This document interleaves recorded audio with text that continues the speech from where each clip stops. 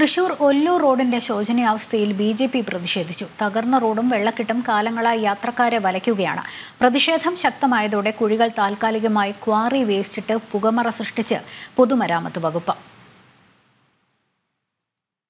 ഒല്ലൂർ റോഡിലെ ഗലീലി ജംഗ്ഷനിലാണ് ദുരിതമേറിയും മഴ ശക്തമായതോടെ പൊട്ടിപ്പൊളിഞ്ഞ റോഡിൽ വൻ ഗർത്തങ്ങളും രൂപപ്പെട്ടു. ഇതോടെ അപകടങ്ങളും മേഖലയിൽ പതിവായി. മണിക്കൂറിൽ ചെറുതും വലുതുമായ ആയിരക്കണക്കിന് വാഹനങ്ങൾ കടന്നുപോകുന്ന പ്രധാന പാതയാണിത്.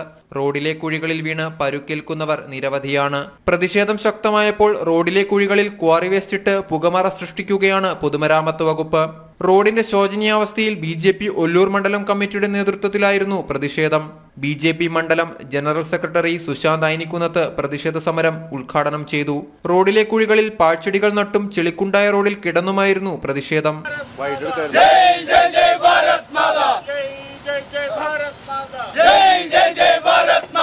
ബി ജെ പി മണ്ഡലം ജനറൽ സെക്രട്ടറി ജെയിൻ ട്രഷറർ ഡിവിച്ച് സെക്രട്ടറി രേഖാപ്രകാശ് തുടങ്ങിയവർ പ്രതിഷേധത്തിൽ പങ്കെടുത്തു.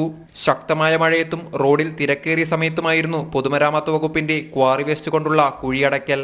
ഇത് കിലോമീറ്ററോളമുള്ള ഗതാഗത കുരുക്കിനും വഴിവെച്ചു. ജനം തൃശൂർ.